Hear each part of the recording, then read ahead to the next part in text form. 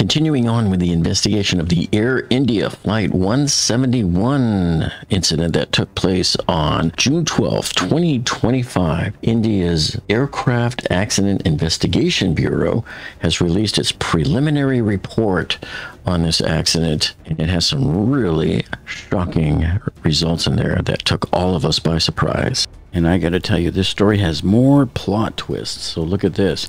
This is when they were taking some of the wreckage away to go put it into storage for their investigation. It and it looks like they hit a snag, literally. So I don't know what extra damage was done to that section there, but it definitely looks like it hit that sign there. So on Air India Flight 171's preliminary report, we're looking here at the their section here on the accident flights. So this is in section 12, but I'm going to take you down here to page 14 where it starts talking about what happened. So here's where the aircraft started to roll at 8:07:37. Now this is UTC time. Local time for them, you add 5 hours and 30 minutes. So it was actually 1:37 p.m. when they took off. So now here's all of the critical parts of the the flight here. So it did pass the V1 speed and it achieved 153 knots, which is the requirement. And then two seconds later, it hit the VR speed. So that's the speed that you're at rotate. That means you're committed. The nose is going up no matter what. And so that was achieved right here. See, two seconds later.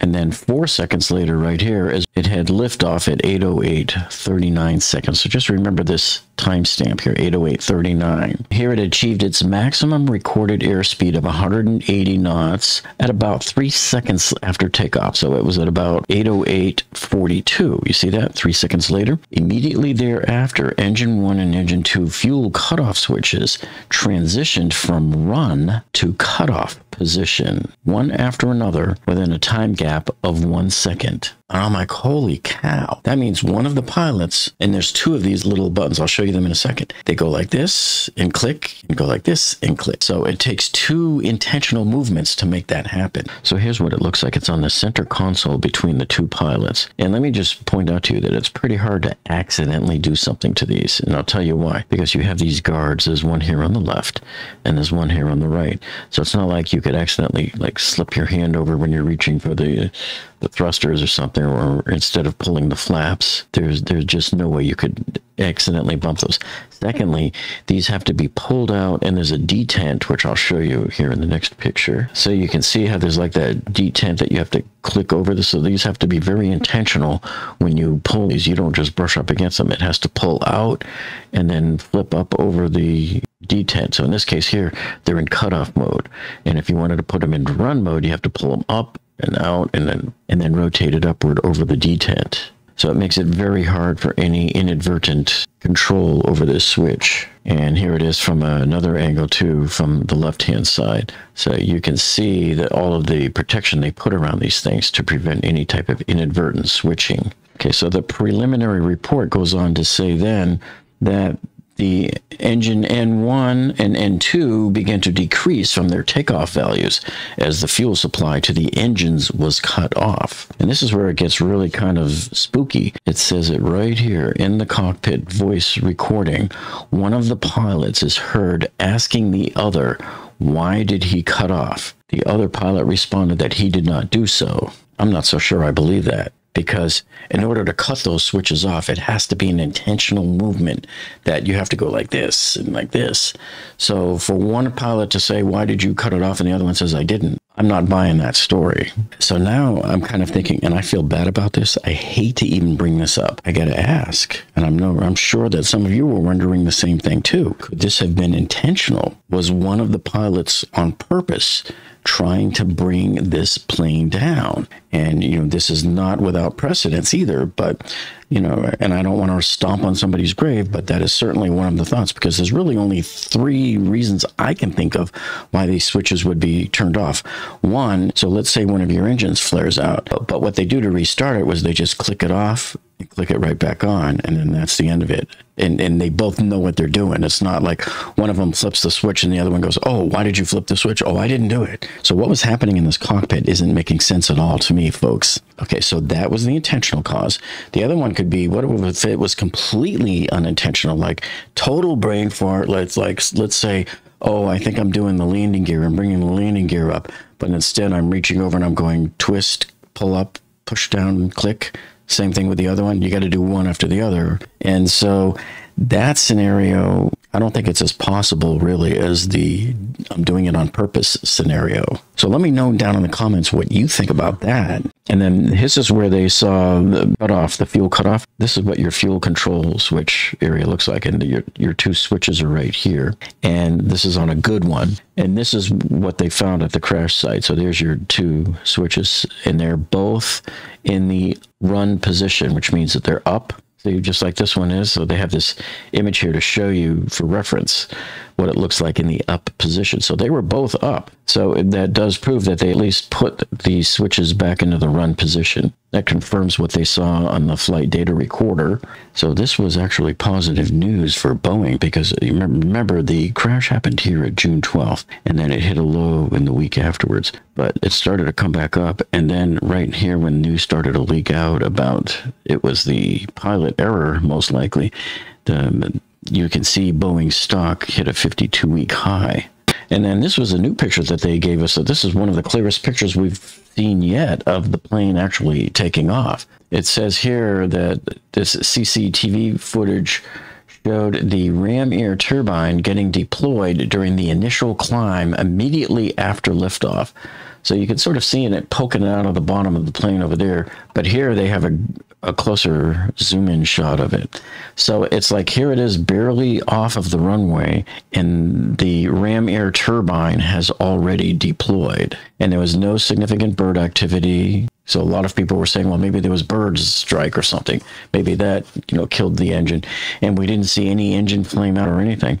And so the aircraft started to lose altitude before it crossing the airport perimeter wall. After takeoff, before Air India Flight 171 even reached the borderline fence of the airport, it was already losing altitude. So the cockpit data reporter here says that both engines N2 values passed below the minimum idle speed, and then the RAT hydraulic pump began supplying hydraulic power at 808.47. Yeah, so that was about eight seconds after liftoff that the ram air turbine was already deployed and supplying power to the plane. So the cockpit data recording here then shows that the engine one fuel cutoff switch transitioned from the cutoff position back to run at about 808.52. So this is exactly 10 seconds after it was originally triggered. And then the APU inlet door began opening at, I guess, yeah, two seconds later, 54, 808 54,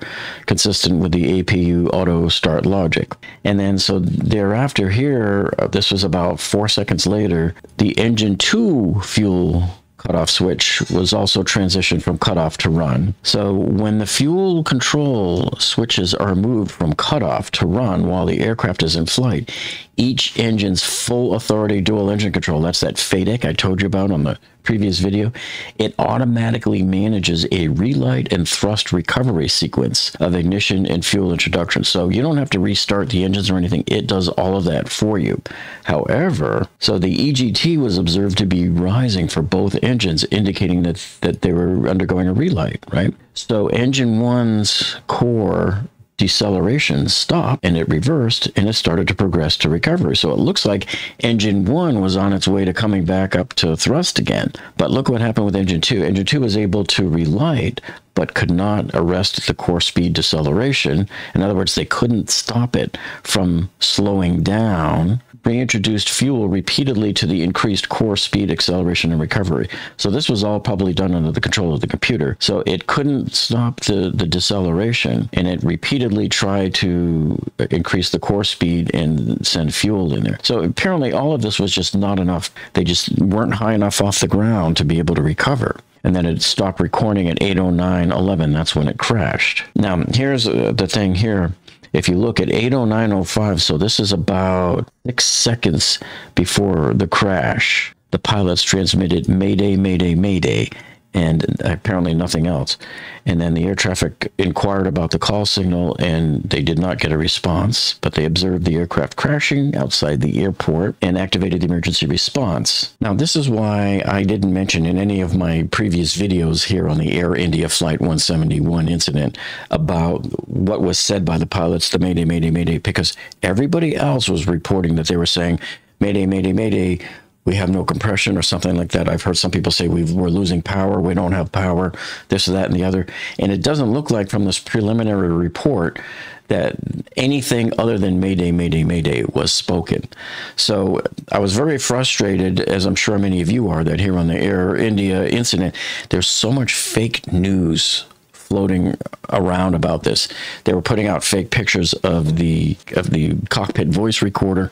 They were putting out fake preliminary reports. They were putting out fake other reports that said that there was something wrong with the captain's seat. You've probably heard that. I'm not going to believe it until I hear the actual voice recording. That's what I want to hear. Okay, so I made this chart here with all of the timestamps uh, to show you so we can take a quick glance, get an at a glance view here just to see how quickly everything unfolded. So here's when uh, the pushback from the gate started was at 743. But right down here, really, this is everything that just leads up to it. So we want to start right here where the takeoff roll begins. So that happens at 807.37. And then they reach that V1 speed at 808.33. So pay attention to the last two digits of these because this is really showing you how little time they, they had to react here. And then their VR speed is at 808.35 and liftoff is at 808.39. So three seconds after liftoff is when the RAT was deployed. So obviously the system noticed that there was something wrong with the engines at that point, that they didn't have any power. And then at 8:42, that's see, that's at the exact same time. This is exactly three seconds after liftoff. This is when the engine cutoff switches to the cutoff position. So three seconds after liftoff. And then it takes them, for whatever reason, it takes them 10 seconds before they try to switch the first one back to run for engine one.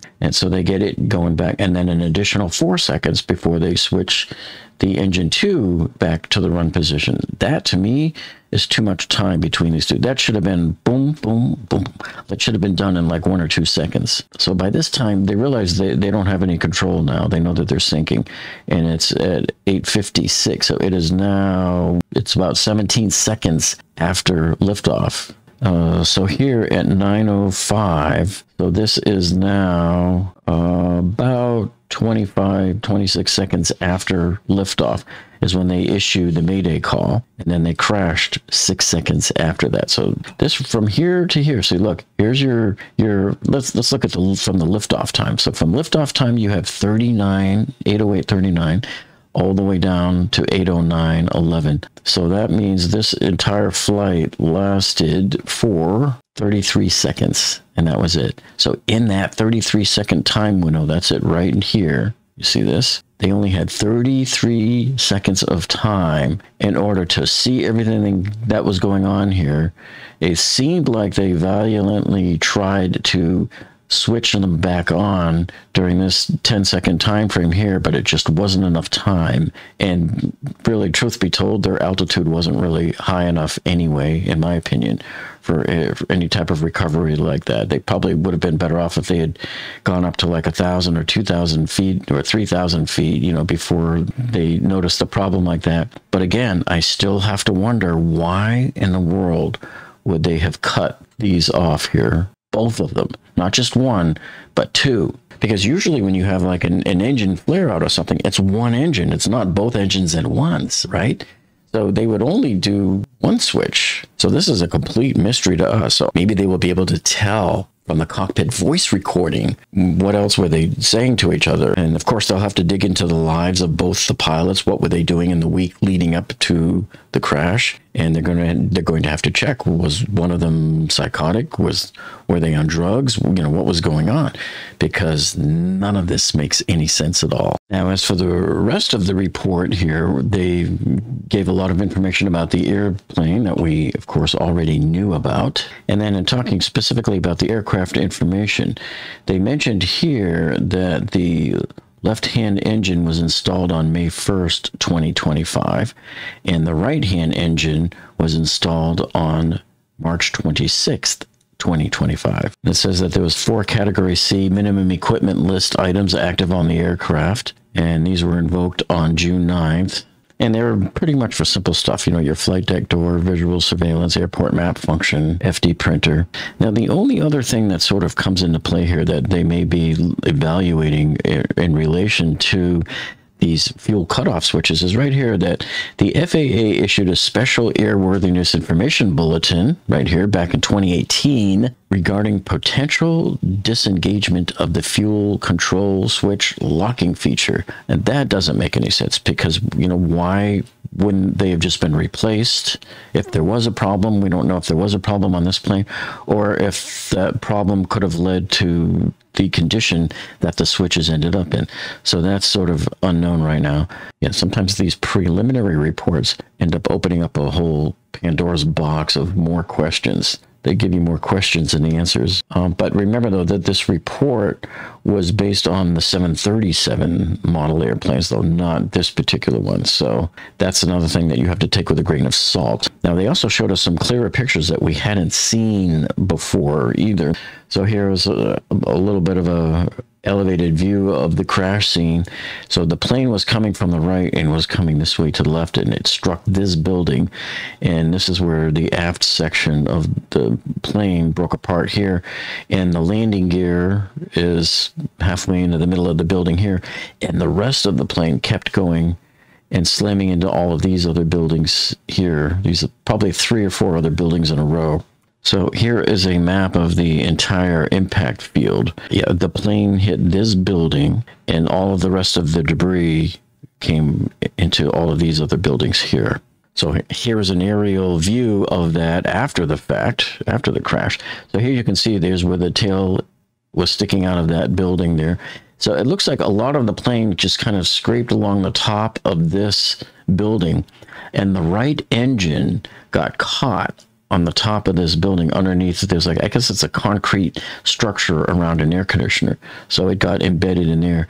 Part of the right wing ended up over here past this building. The vertical stabilizer and the rudder ended up here. Left hand wing ended up on over here at this building. The center tank ended up here. The left engine ended up over here. Part of the right wing was back over here and the left wing was down here.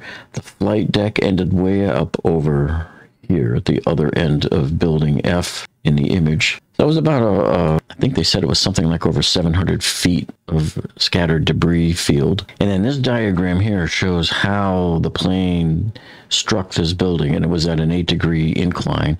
And remember, the tail section ended up right here, and its landing gear ended up inside the building. So there's a couple of after shots that they showed here. And then this is the view that I showed you of here's where the right engine had ended up embedded in that little concrete structure surrounding the air conditioning unit.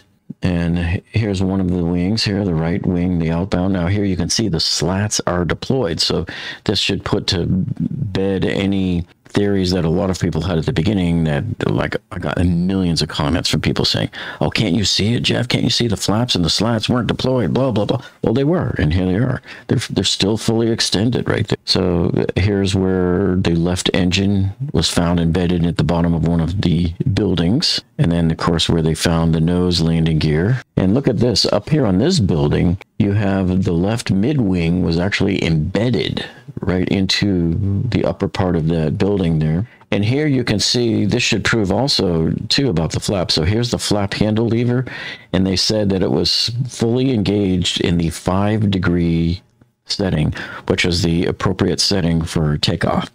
So you can see it was still sitting there in that setting. And then this is the landing gear lever module right here. They found it. It was all burnt. This is what it normally looks like. So it looks like it was in a halfway up position when they found it. They, of course, provide meteorological information and they gave some limited timestamps of some of the communications. And there was the condition of the flight data recorder. So these are the official pictures of the flight data recorders. These, of course, do not match anything that all of the other news agencies had put out earlier because many of them were using incorrect photos or stock photos or AI generated photos. Now, if you missed my previous video on the Texas flash floods, and what caused all of that and how that system broke down, make sure you check this out over here. And if you missed my previous video on the Champlain Towers update on the government's investigation into that, and they're getting really close, check this video out over here. So thank you for joining us, and we'll see all of you on the next one.